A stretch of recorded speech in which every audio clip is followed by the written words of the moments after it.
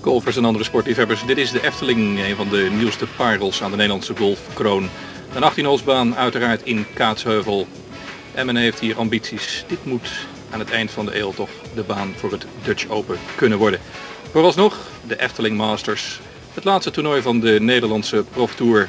Een circuit dat bestaat uit een zevental wedstrijden. En om wie gaat het in de laatste ronde? Het gaat om deze man, Ruben Weggelaar uit Horen. Tweede plaats is dat 7 onder par na 54 holes. En dit is Chris van der Velde. De leider in het klassement heeft twee slagen voorsprong op Weggelaar. Beelden van die laatste dag. De laatste dag die werd gekenmerkt door een straffe zuidwestenwind. En deze man Roderick Watkins, geen slag. Het is een par.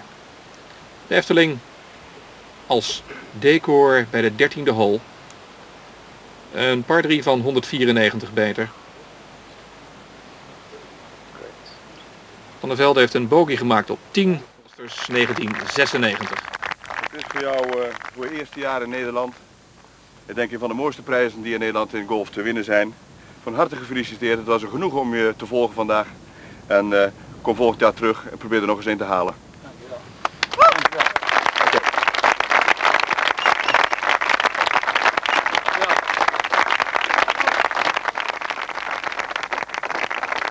De bevestiging van de velden, de winnaar voor Ruben Weggelaar.